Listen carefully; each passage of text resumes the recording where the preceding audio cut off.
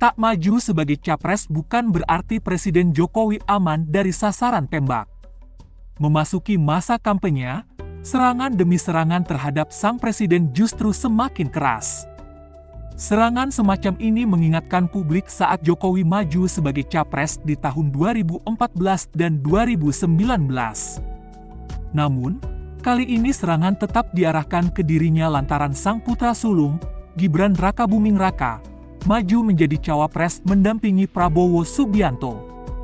Jokowi dinilai banyak pihak punya andil besar memuluskan langkah Gibran menjadi cawapres.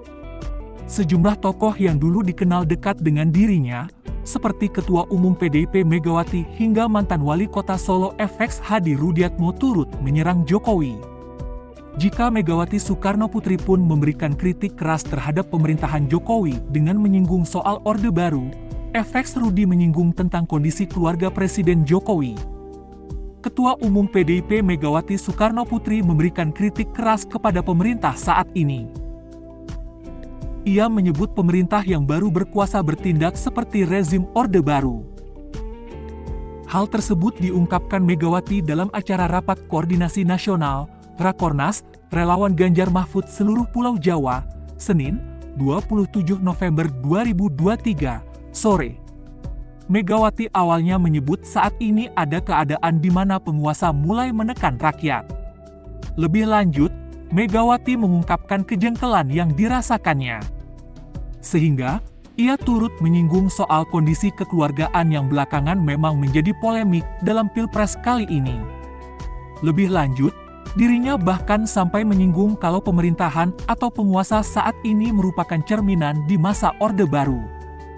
Presiden kelima Republik Indonesia itu mengaku merasakan betul kondisi perpolitikan di masa Orde Baru. Orang dekat Jokowi lainnya yang melontarkan kritik tajam adalah FX Hadi Rudiatmo alias FX Rudi. Tak hanya ke Jokowi, pernyataan pedas FX Rudi juga ditujukan buat keluarga Jokowi. FX Rudi yang kini menjabat Ketua DPC PDIP Solo itu selama ini dikenal sebagai sahabat Jokowi di Solo. Hubungan Jokowi dan PDIP kian renggang setelah putranya, Gibran Raka Buming Raka, menjadi calon wakil presiden pendamping Prabowo Subianto. FX Rudi mendukung pernyataan Ketua Umum PDIP Megawati Soekarno Putri yang menyindir perilaku penguasa seperti rezim Orde Baru. Bahkan menurutnya perilaku penguasa lebih dari Orde Baru dan menyebutnya Neo Orde Baru Plus.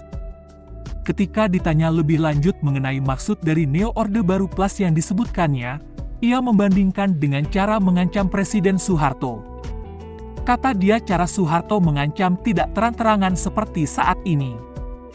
Ketika ditanya bentuk ancaman yang dimaksud, Rudi meminta wartawan menanyakannya kepada pihak yang diancam. Menurutnya Soeharto lebih beretika dibandingkan penguasa saat ini.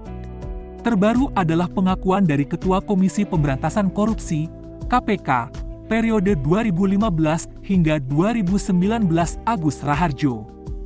Agus menuturkan dirinya pernah diminta oleh Presiden Joko Widodo untuk menghentikan penanganan dugaan kasus korupsi KTP elektronik yang melibatkan Setia Novanto. Setnov kala itu menjabat Ketua DPR RI dan Ketua Umum Partai Golkar, partai politik yang pada 2016 bergabung jadi koalisi pendukung Jokowi. Status hukum Setnov sebagai tersangka diumumkan KPK secara resmi pada Jumat, 10 November 2017. Sebelum mengungkapkan kesaksiannya, Agus menyampaikan permintaan maaf dan merasa ada hal yang harus dijelaskan.